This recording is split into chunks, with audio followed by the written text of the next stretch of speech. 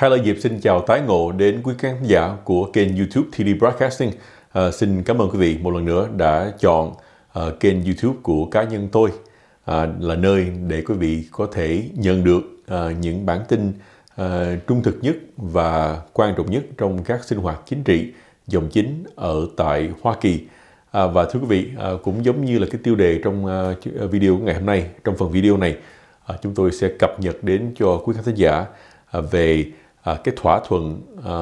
mới nhất mà à, lưỡng đảng à, tại Quốc hội đã đồng ý trên nguyên tắc à, về gói cứu trợ à, COVID-19 à, à, Relief Package. Đây là một cái tin rất là tốt à, cho những người nào mà đã mong chờ à, cái đợt cứu trợ thứ hai à, từ chính phủ liên bang.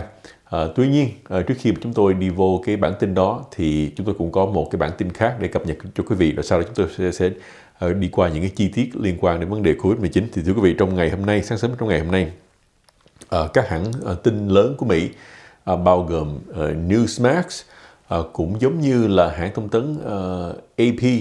à, đều đã có à, chạy cái bản tin này. À, họ nói rằng là à, dựa theo À, các nguồn tin mà họ đã à, có được à, từ trong tòa bạch đốc, thì tổng thống Donald Trump đã có tham khảo với nhiều cố vấn cao cấp của ông bao gồm chánh văn phòng tòa bạch đốc đó là ông Mark Meadows cũng như là luật sư của tòa bạch đốc đó là ông Mark Scipioni. Liên quan đến cái việc là tổng thống Donald Trump có thể đơn phương bổ nhiệm một công tố viên đặc biệt hay không để mà điều tra về cái vụ án của Hunter Biden? À, đây là cái câu hỏi thứ nhất. À, cái câu hỏi thứ hai nữa rằng là à, ông cũng đang tham khảo với các cố vấn của ông là trong trường hợp nếu mà ông không có đích thân bổ nhiệm được đó thì liệu à, cái quyền cái người mà gọi là sắp sửa làm quyền bộ trưởng tư pháp mới ông à, à, Rosen đó à, có là một cái người mà gọi là à, hợp tác được hay không? Bằng cách rằng là nếu mà tổng thống Trump không có đơn phương bổ nhiệm được một công tố viên đặc biệt tiếng Anh nó gọi là cái special prosecutor thì cái người quyền bộ trưởng tư pháp mới sắp sửa lên à, nắm cái chức vụ này. Có hợp tác với ông và làm theo cái ý muốn của tổng thống Donald Trump hay không để mà bổ nhiệm một công tố viên đặc biệt? À, cái một cái hai cái video trước đây chúng tôi đã có làm về cái vấn đề này rồi. Nếu mà quý vị chưa có cơ hội để mà xem thì quý vị có, có thể đi ngược lại để mà xem à, cái video mà tôi có đưa lên là khoảng chừng một ngày trước cho biết rằng là cái lợi hại của giữa ông Trump và ông Biden liên quan đến việc mà à, Bộ trưởng Tư pháp William Barr về hưu non. À, quý vị có thể tham khảo lại cái đoạn video đó. Một số người nói rằng là à, tôi à, nói chuyện trước thời cuộc, nhưng mà quý vị thấy rằng là video của tôi vừa mới đưa ra thì trong ngày hôm nay đã có tin rằng là à, Tổng thống Donald Trump à, đang cứu xét hay đang tham khảo là ông có thể nào mà bổ nhiệm một công tố viên đặc biệt hay không để mà điều tra con trai của ông Joe Biden? Thì đối với những quý vị nào mà không có rành về luật lệ của Mỹ đó là tại sao một công tố viên đặc biệt nó quan trọng? Là tại vì uh, các ngành uh, các chức vụ bộ trưởng tư pháp thứ trưởng tư pháp uh, phụ tá bộ trưởng tư pháp vân vân. Đây là những chức vụ mà sẽ đều bị thay đổi hết uh, khi mà ông Joe Biden lên làm tổng thống vào ngày 24 tháng Giêng. Tuy nhiên cái luật uh, trong Bộ Tư pháp nói rằng là những công tố viên đặc biệt được bổ nhiệm để mà điều tra một cái hồ sơ nào đó hay là một cái nhân vật nào đó thì họ không có cái thời hạn ấn định rằng là công việc họ làm là sẽ bao nhiêu lâu. Mà cái thời hạn đây rằng là họ chỉ có có mãn cái nhiệm cái cái cái thời hạn họ làm. Khi nào mà họ nghĩ rằng là cái việc cái cuộc điều tra của họ hoàn tất thì ông Donald Trump muốn rằng là có một công tố viên đặc biệt để mà có thể điều tra cái việc này tiếp tục. À, cho dù rằng là ông Biden uh, sẽ nhậm chức trong tháng giêng mà cũng không có uh, cách chức được một cái vị mà gọi là uh, công tố viên đặc biệt trừ khi là ông uh, uh, không có để ý đến dư luận. Thì đó là cái bản tin uh, về vấn đề mà gọi là William Barr và cũng như là công tố viên đặc biệt. Uh, sau đây xin mời quý, quý vị uh, tham khảo những cái bản tin này. Thì trong ngày hôm nay À, đây là một tin vui cho người dân ở tại nước Mỹ, à, người đi làm, người đóng thuế cũng như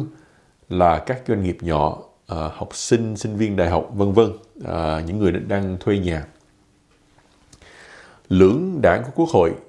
trên nguyên tắc đã đồng ý với một cái gói cứu trợ à, trị giá khoảng 900 tỷ Mỹ Kim. Đây là cái uh, top line dollar amount, đây là cái con số mà cao nhất uh, trên dưới độ khoảng chừng 900 tỷ Mỹ Kim. Và trong cái gói cứu trợ này mà hai bên đã đồng ý, Cộng hòa và Dân chủ đã đồng ý sẽ bao gồm những cái uh, phần như sau. Thứ nhất, đây là tin tốt cho những người nào mà uh, đã đi làm trong quá khứ. Uh, tùy theo cái tax bracket của chúng ta, chúng ta làm ít thì đóng thuế ít, chúng ta làm nhiều thì đóng thuế nhiều, nhưng mà tùy theo cái tax bracket. Một người đi làm trong năm 2019, trong năm 2018 có thể nhận được a one-time payment đó là một cái đợt chi phiếu trực tiếp gửi đến nhà của chúng ta từ 300 Mỹ Kim cho tới 600 hay là tối đa là 700 Mỹ Kim. Cái chi tiết đó nó vẫn còn chưa có được uh, uh, soạn lọc xong nhưng mà uh, sẽ theo cái lương bổng của chúng ta. Uh, nó uh, cái cái đợt trước đó thì là chỉ cần chúng ta đi làm. Và mức lương chúng ta mà dưới một cái khoản nào đó thì mình sẽ nhận đúng là 1.200 còn bây giờ thì quốc hội muốn là à, phải theo cái nhu cầu của từng người. À, nếu mà chúng à, cho nên là sẽ dựa theo cái tax bracket thì cái khoản tiền này nó sẽ là đi là từ 300 cho tới 600 hoặc là 700 Mỹ Kim. Cho những người nào mà đã đi làm và vì lý do nào đó uh, mất việc làm vì Covid-19 thì sẽ nhận được cái số tiền uh, từ 300 cho tới ờ, uh, 600 Mỹ Kim. Uh, và những người nào mà vẫn đang đi làm, tuy nhiên khi income của họ đã bị th- uh, mất một phần nào đó vì vấn đề Covid-19 thì họ, họ cũng sẽ nhận được cái số tiền này. Những cái chi tiết đó uh, thì hiện nay chúng tôi không có nắm rõ là cái tax bracket họ sẽ họ sẽ chia ra như thế nào. Nhưng mà cái tin vui rằng là hầu hết mọi người nếu mà đi làm sẽ nhận được cái số tiền uh, one time payment này cái uh, tin vui thứ hai trong cái gói cứu trợ này đó là uh, số tiền 300 đồng Mỹ Kim tiền trợ cấp thất nghiệp hay là tiền bảo hiểm thất nghiệp uh, mà những người nào mà hiện nay vẫn chưa kiếm được việc làm sẽ có thể được nhận trong cái khoảng thời gian là uh, 3 tháng nếu mà chúng tôi nhớ không lầm. Uh, unemployment benefit 300 mỗi tuần từ chính quyền liên bang thì nếu mà chúng ta lấy à, cái số tiền từ chính quyền liên bang là 300 cộng với cái 100 đồng từ chính quyền tiểu bang thì uh, có thể là một người uh, hiện nay đang gặp thất nghiệp có thể nhận tới tối đa là 400 đồng cho một tuần. Uh, đó là uh, thông tin về vấn đề trợ cấp thất nghiệp. Cái tin vui thứ ba uh, dành riêng cho những người nào mà hiện nay đang thuê nhà thôi. Uh, nó gọi là cái eviction relief. Eviction relief có nghĩa là gì là nếu mà trong quá khứ hay trong hiện tại à, cũng như là trong tháng tới đây đó nếu chúng ta không đủ tiền để mà trả tiền nhà cho cái người chủ thì khi mà luật này được thông qua thì cái vấn đề gọi là eviction uh, protection đó uh, sẽ được gia hạn cho đến cuối tháng giêng. Quý vị nhớ là từ trong cái thời à, đại dịch tới bây giờ thì chủ nhà khó đuổi người mướn nhà ra khỏi nhà. Là tại vì uh, có, có những cái luật liên bang này thì những người nào trong thời gian qua họ đang mướn nhà nhưng mà họ trả tiền nhà không không được thì hay là không đủ đó à, một là họ trả một phần hai là họ không trả phần nào cả. Nhưng mà nếu mà họ à, không có trả đầy đủ thì trong thời gian qua à, luật không cho phép các chủ nhà đuổi những người thuê nhà mà trả thiếu tiền ra khỏi nhà. Thì cái luật đó à, nó dự trù sẽ hết hạn vào cuối tháng 12 này. Tuy nhiên, nếu mà cái gói cứu trợ này à, hay là cái gói kích thích kinh tế này được thông qua thì cái gia cái thời hạn nó, nó nó sẽ được gia hạn cho tới cuối tháng giêng coi như là cho các uh, người mà đang thuê nhà hiện nay có thêm một tháng nữa về vấn đề bảo vệ pháp lý. Đó là về vấn đề eviction relief. Student loan deferment là cái gì? Student loan deferment à, uh, trong cái phần này cũng có nghĩa rằng là hồi đó uh, các bạn trẻ nào uh, vay nợ để mà đi học đại học thì trong thời gian qua cũng đã không cần thiết phải trả lại cái tiền uh, cái tiền uh, cái tiền vay này. Thì bây giờ trong cái luật này trong cái cái cái cái bản dự thảo này nó cũng gia hạn luôn cái tiền mà uh, hồi đó các bạn trẻ uh, mượn đại học mượn tiền để đi học nhưng mà bây giờ cũng không nhất thiết là phải trả ngay bây giờ thì cũng uh, trì hoãn lại cái việc đó. Một phần lớn số tiền uh, trong cái gói cứu trợ này uh, sẽ được phân phối cho những nỗ lực uh, để mà uh, chế biến thêm vaccine phát triển thêm vaccine cho an toàn và cũng như là uh, đưa ra những cái uh, nỗ lực nhiều hơn để mà phân phối vaccine một cách rộng rãi sản xuất nhiều vaccine hơn để mà cho những vaccine này uh, được uh, đưa tới tay của người dân càng sớm càng tốt. Tại vì uh, khi nào mà người ta nói là khi nào mà 70% dân số của Mỹ uh, được tiêm chủng vaccine này đó thì lúc đó chúng ta mới an toàn thoát ra khỏi cái vấn đề Covid-19 uh, chứ còn trong những tháng tới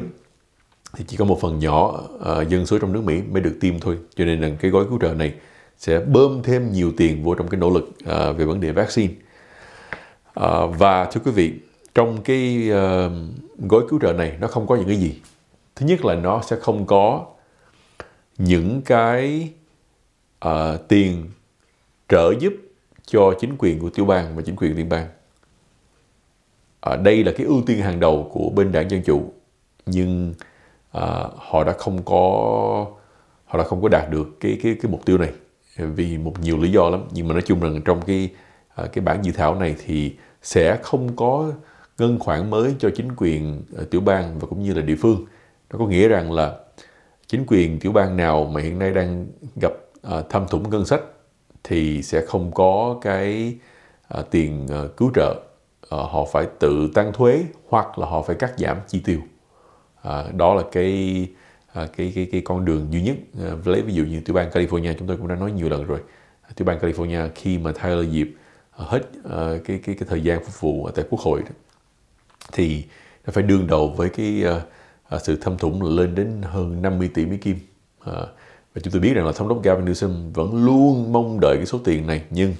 ở trong cái gói cứu trợ lần này thì sẽ không có số tiền đó. Chắc chắn là từ bang California ở trong thời gian tới chắc là phải cắt giảm rất nhiều các chi tiêu. À, và nó cũng tương tự như vậy với cho các chính quyền ở tại địa phương. Và vì bên dân chủ không có được cái ưu tiên đó thì bên cộng hòa họ cũng sẽ không có được cái ưu tiên à, về vấn đề mà gọi là đưa ra những cái bảo vệ pháp lý cho các công ty lớn nhỏ. Ở trước đây thì cái ưu tiên hàng đầu của ông Mitch McConnell hay là bên cộng hòa đó là làm gì làm? Phải đưa ra một cái uh, luật để mà bảo vệ cho các công ty lớn nhỏ không bị nhân viên của họ uh, tố tụng vì những vấn đề liên quan đến coronavirus thì uh, uh, cái ưu tiên đó cũng không có được uh, uh, uh, bao gồm vô trong cái bản dự thảo này. Uh, cái câu hỏi kế tiếp mà có lẽ là nhiều người uh, muốn hỏi đó là cái số tiền này nó có đủ không? Nó có đủ để mà uh, kéo dài cái cái cái cái cái, thời gian uh, cho đầy đủ người dân uh, chích ngừa đầy đủ để mà cho nền kinh tế có thể phục hồi lại một cách bình thường hay không? Thì chúng tôi nghĩ rằng là nó không có đủ. À, tuy nhiên đây chỉ là một cái đợt mà gọi là à, đợt trả góp thứ hai thôi. Tại vì nhiều người biết rằng là khi mà ông Joe Biden nhậm chức ông Biden sẽ phải tới quốc hội à, để mà xin thêm một cái gói cứu trợ nữa.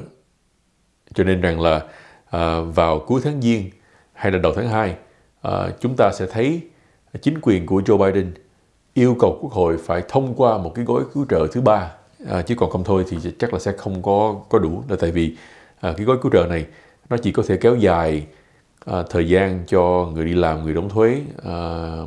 độ thêm tới khoảng chừng 90 ngày hay là 120 ngày nữa thôi. À, đó là là những cái à, điểm chính trong cái à, à, trong trong cái gói cứu trợ này. À, chúng tôi cũng xin quên à, nhắc thêm rằng là trong cái phần này cũng có ngân sách cho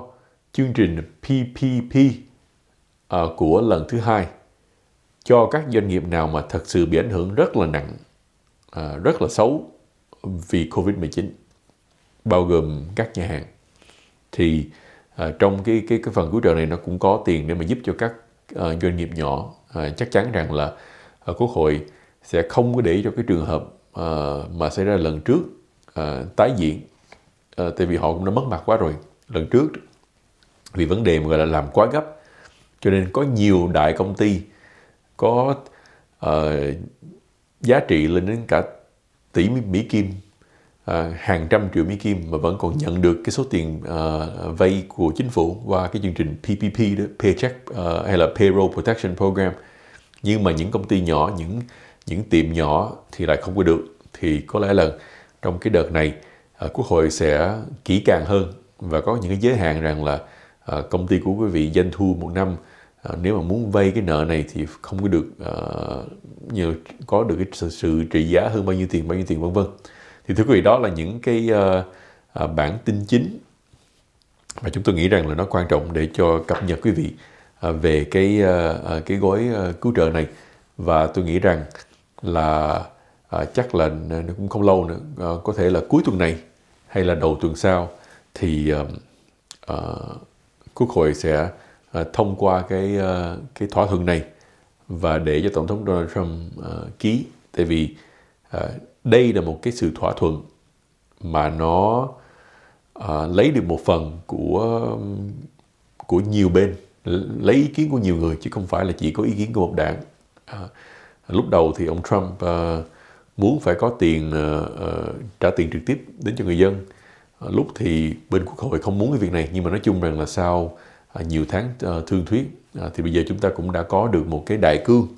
uh, của cái gói cứu trợ covid uh, 19 uh, đợt thứ hai. À, uh, thay lời dịp xin cảm ơn quý vị rất nhiều đã theo dõi chương trình này. Và khi nào mà chúng tôi có những cái thông tin uh, mới nữa về những cái chi tiết mới uh, của cái vấn đề này chúng tôi sẽ cập nhật cho quý vị ngay lập tức. Xin hẹn quý vị lại vào chương trình của kỳ tới.